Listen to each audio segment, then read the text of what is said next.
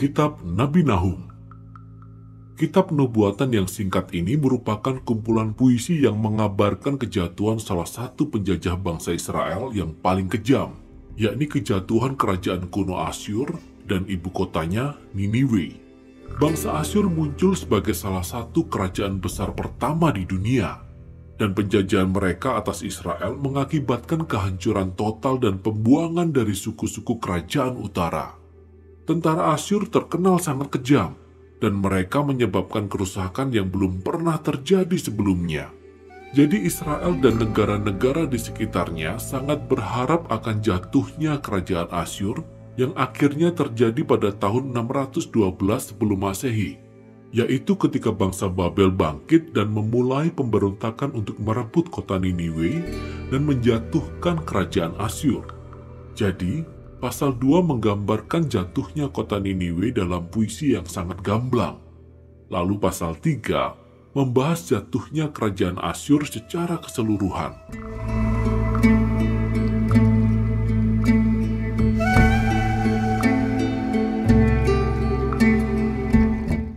Namun kitab ini tidak hanya berisi ungkapan kemarahan terhadap musuh-musuh Israel, pasal pendahuluannya menunjukkan bahwa masih ada banyak kejadian lainnya yang terjadi di sini.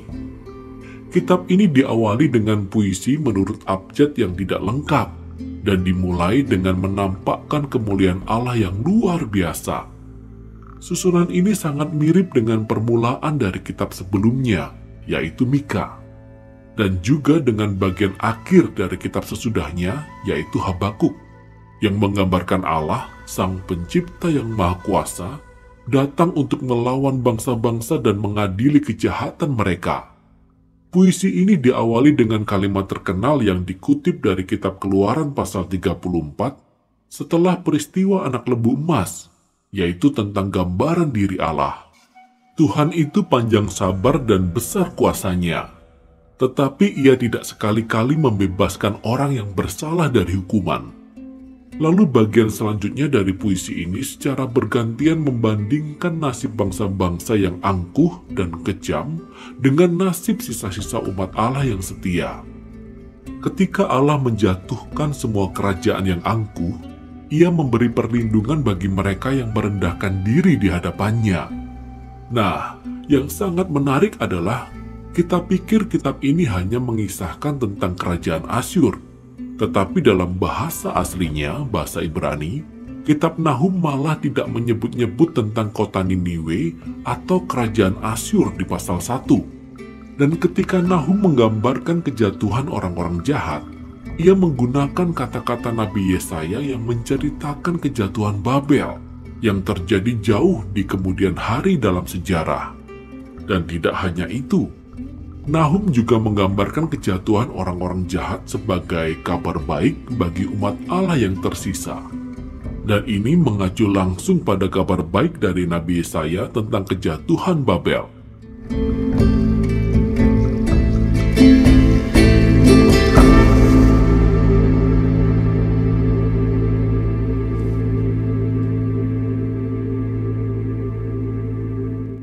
Jadi semua detail dalam pasal 1 ini terangkum ke dalam satu tema utama.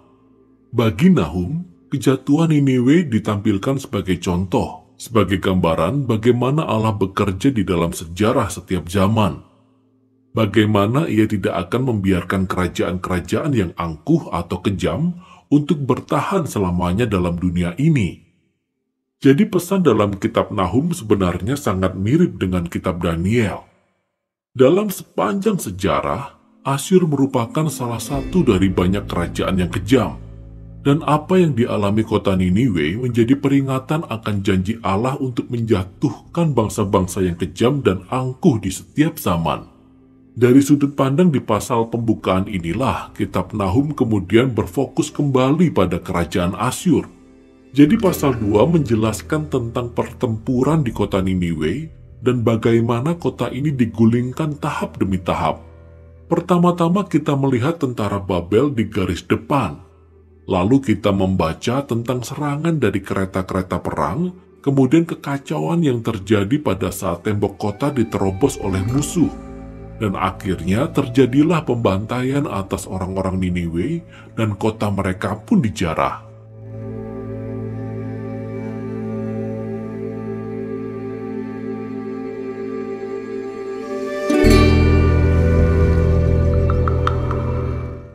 Selanjutnya pasal 3 menjelaskan tentang dampak dari kejatuhan kota Niniwe bagi kerajaan Asyur secara keseluruhan.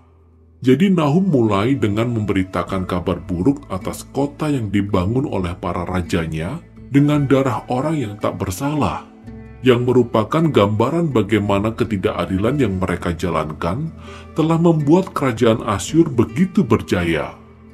Namun, kekerasan yang mereka lakukan menjadi benih bagi kehancuran mereka sendiri, dan kerajaan Asyur akan jatuh ke tangan bangsa Babel. Kitab ini diakhiri dengan ejekan terhadap Raja Asyur yang telah jatuh, yang mengalami luka yang sangat fatal, dan dari semua bangsa yang pernah ia tindas, tidak ada satupun yang datang untuk menolong dia. Mereka malah bernyanyi dan merayakan kehancurannya. Demikianlah akhir dari kitab ini. Kitab Nahum merupakan kisah yang suram tetapi penting bagi kita untuk melihat bagaimana Nahum memperlihatkan siklus yang tragis dan tak habis-habisnya dari kekejaman manusia dan penindasan di tiap zaman.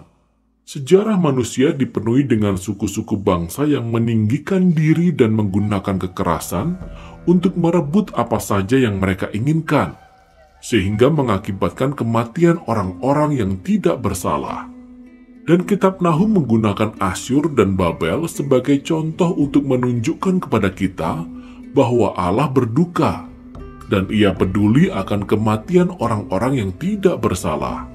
Kebaikan dan keadilan Allah mendorong dia untuk mendatangkan kejatuhan bagi bangsa-bangsa penindas. Dan hukuman Allah atas kejahatan mereka menjadi kabar baik, kecuali bagi bangsa Asyur tentunya.